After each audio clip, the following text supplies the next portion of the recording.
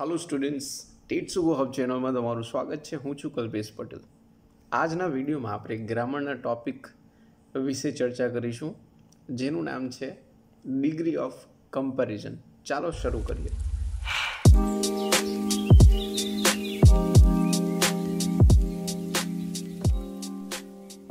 Degrees of comparison comparison એટલે થાય સરખામણી કરવી, તુલના કરવી, કંઈક બે વસ્તુઓને સરખાવવી.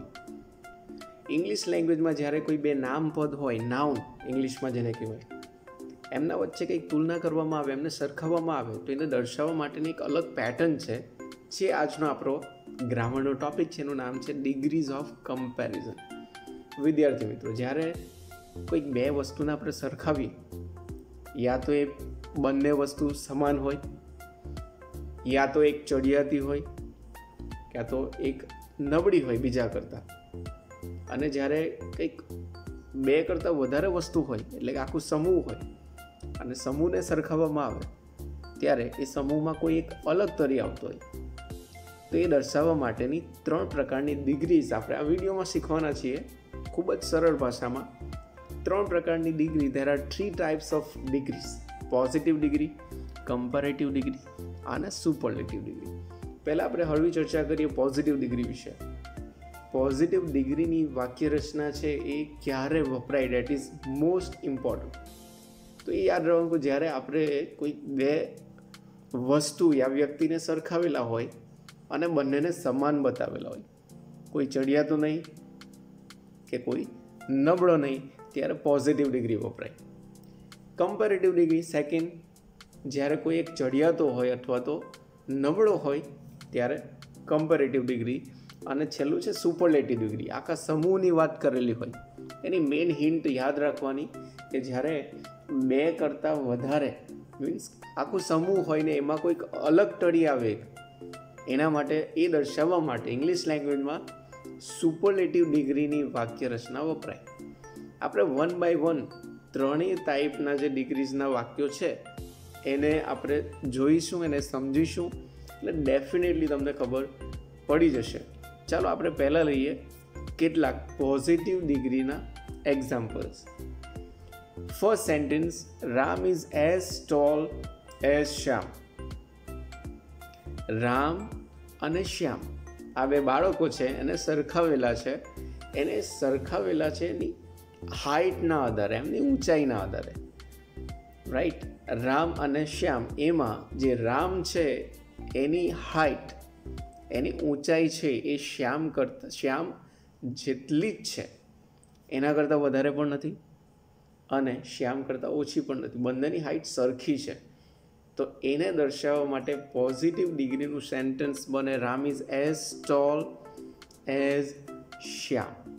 Ram એ શ્યામ જેટલો જ ઊંચો છે. પોઝિટિવ ડિગ્રીની હિન્ટ ખાસ તમારે યાદ રાખવાની એ છે એઝ અને એઝ એડજેક્ટિવની આગળ અને પાછળ. બંને જગ્યાએ એઝ હોય.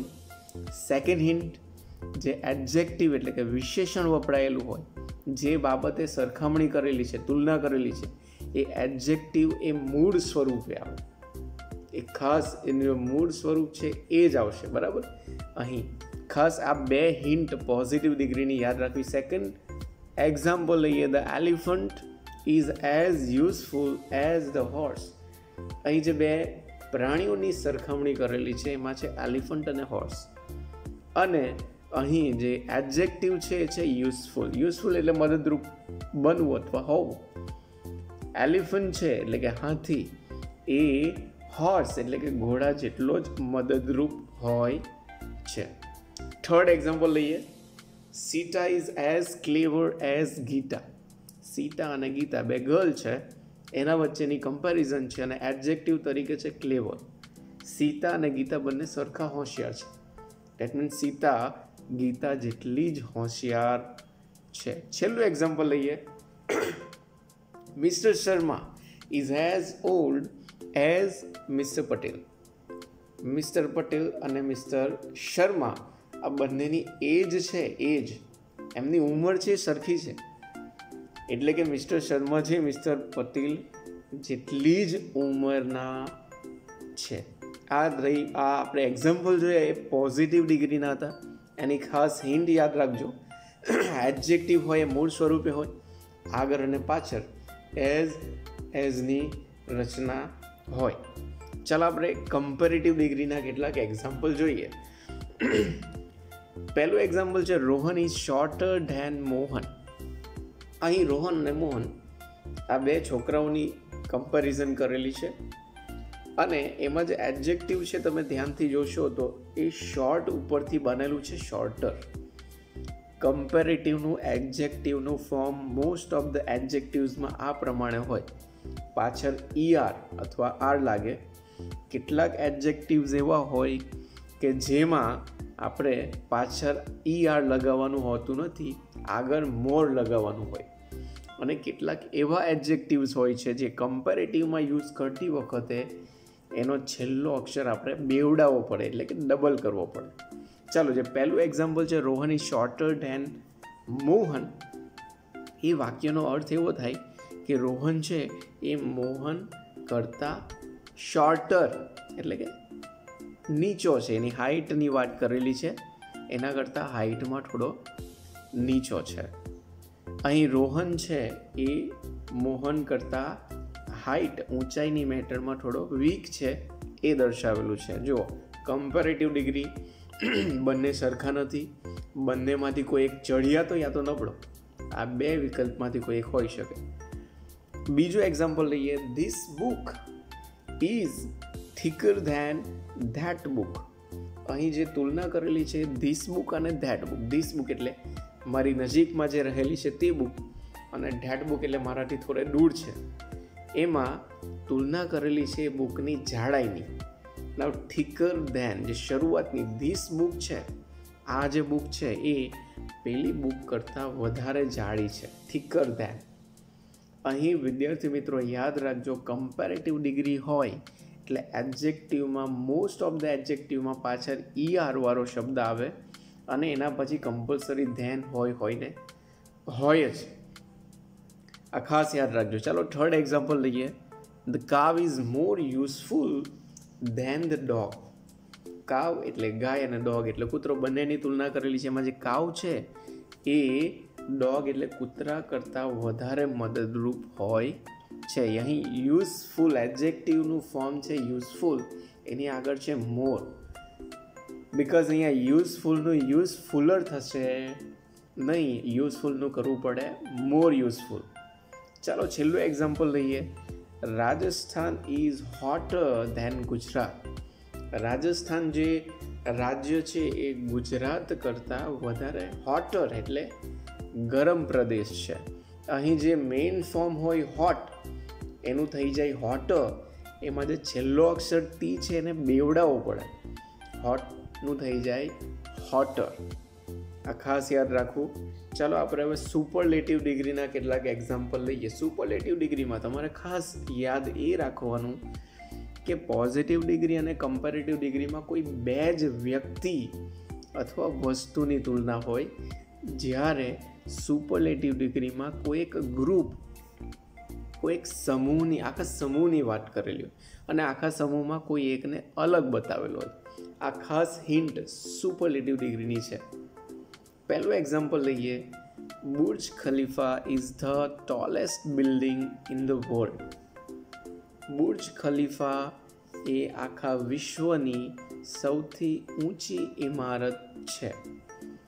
સુપરલેટિવ ડિગ્રીમાં જે એડજેક્ટિવનું ફોર્મ તમે ધ્યાનથી નજર કરશો તો તમને જોવા મળશે પાછળ ઈએસટી હોય એવું.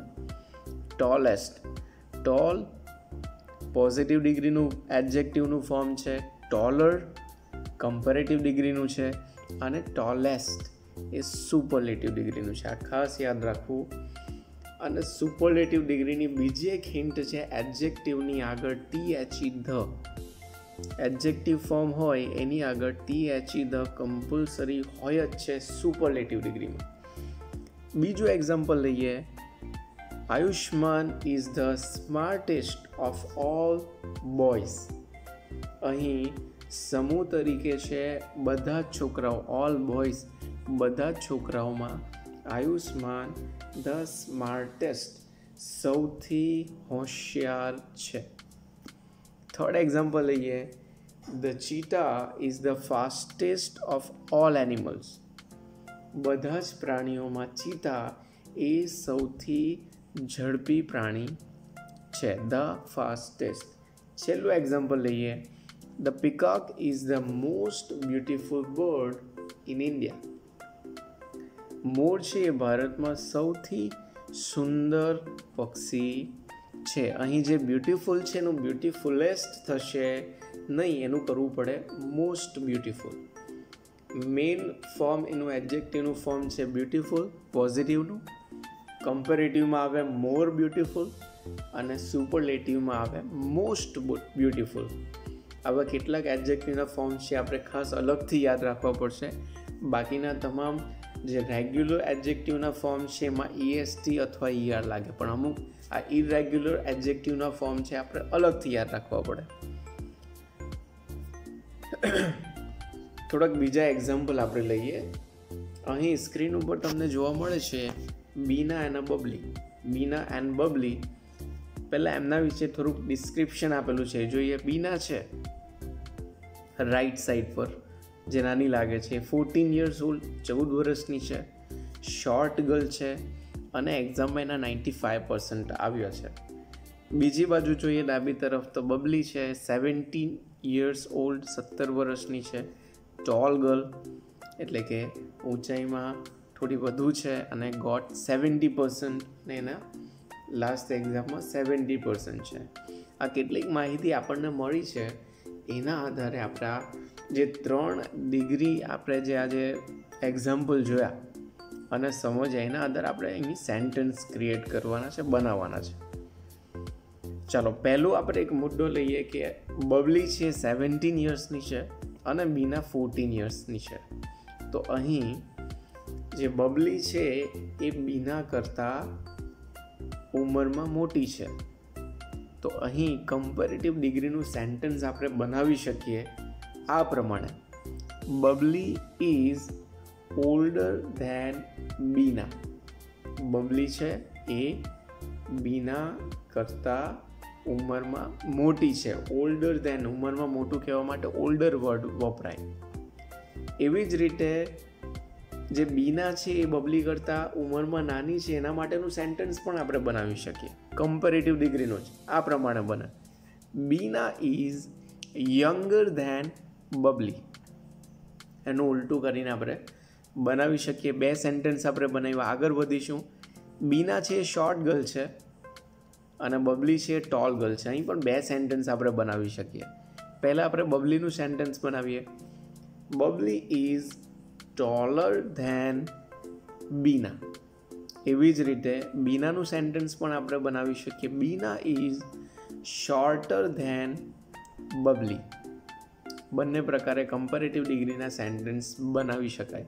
પણ આ જ માહિતી હોય અને આપણે એવું સેન્ટેન્સ બનાવીએ કે Babli is as tall as Bina તો લોજિકલી એ સેન્ટેન્સ આ માહિતીના આધારે ખોટું પડે. કારણ કે પોઝિટિવ ડિગ્રીનું અહીં આપણે બનાવી ના શકીએ.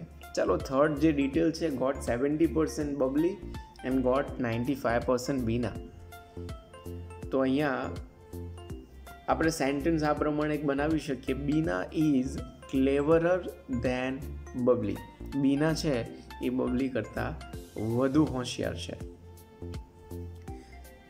ચાલો હવે આપણે કેટલીક એક્ટિવિટી લઈએ. આ જે ટોપિક આપણે શીખ્યા છે એ આપણને આવડું કે નહીં, આ બ્લેન્ક દ્વારા આપણે ડેફિનેટલી કન્ફર્મ કરી શકીશું.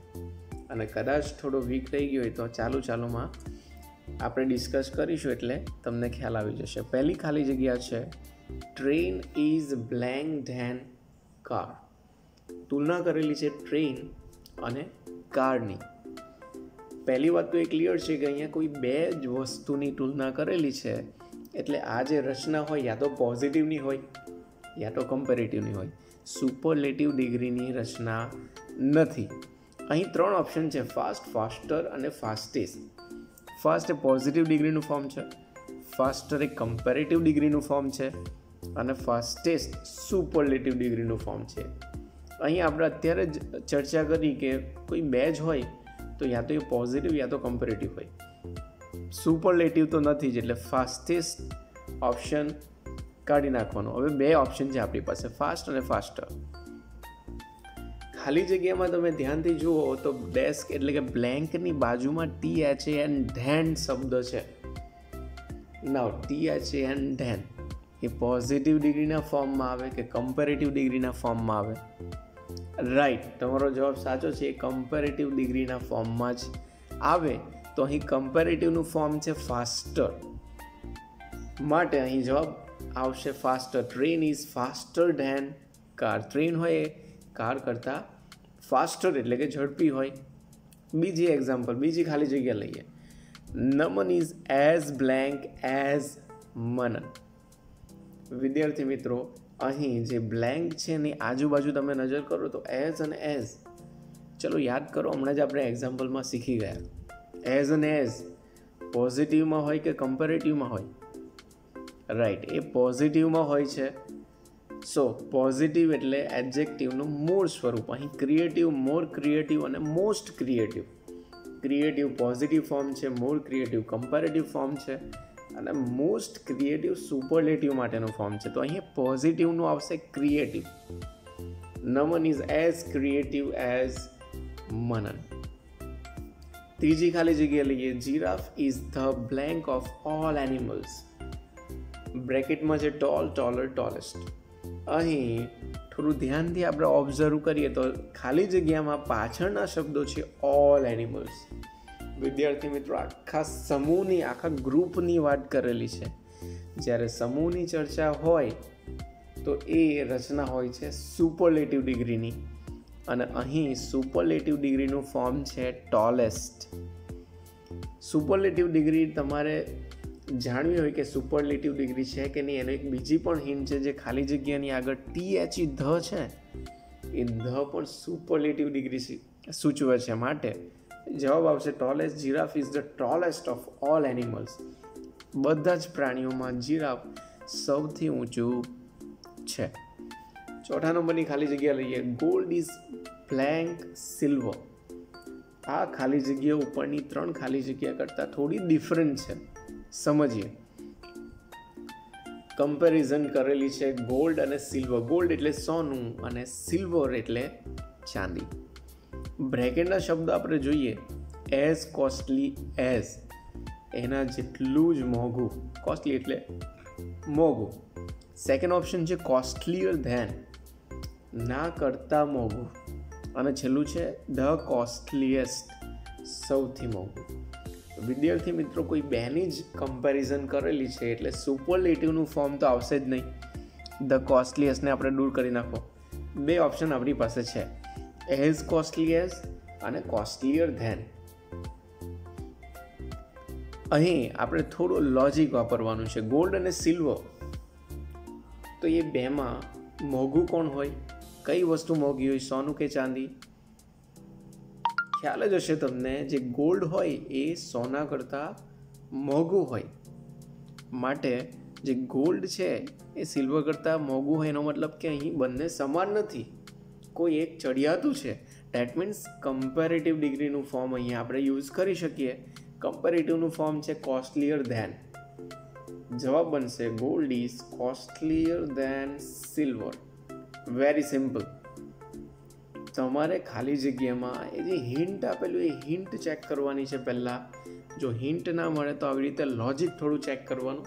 લોજિકલી તમે ડિસાઈડ કરી શકો કે અહીં આપણે કયો જવાબ આવી શકે.